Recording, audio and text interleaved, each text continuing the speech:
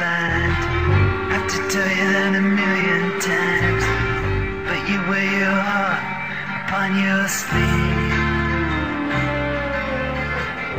Could tell you a million lies. Cut you up and down to size.